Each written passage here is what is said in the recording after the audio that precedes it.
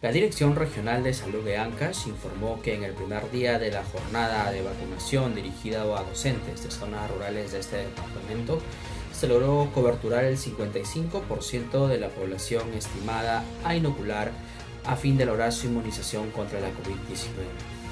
En el primer día de esta jornada de vacunación se logró aplicar un total de 6.816 inyecciones a docentes de zonas rurales ubicados en 37 distritos de la región Ancash.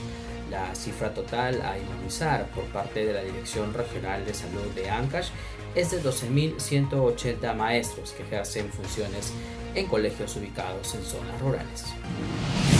La Gerencia Regional de Salud de Arequipa ha programado una nueva campaña de vacunación para la población de 50 años a más que aún no ha recibido la primera dosis de la vacuna contra la COVID-19. Esta campaña se inicia hoy hasta el sábado 10 de julio en seis distritos de Arequipa, como son Cercado, Cerro Colorado, Paucarpata, Mariano Melgar, José Luis Bustamante y Rivero y Hunter. La población puede acudir a estos distritos donde se han instalado puntos de vacunación desde las 8 de la mañana hasta las 2 de la tarde para recibir la primera dosis.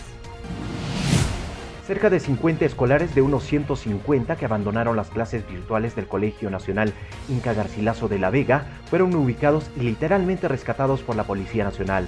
El mayor PNP Edwin Espinosa Menéndez, jefe de la comisaría de Tahuantinsuyo, informó que el programa piloto comenzó en el 2020 y este año se prioriza en cuatro colegios.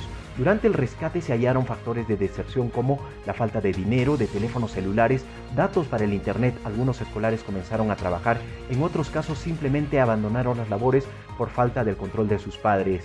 Padres de familia y alumnos luego se comprometieron a continuar con la enseñanza.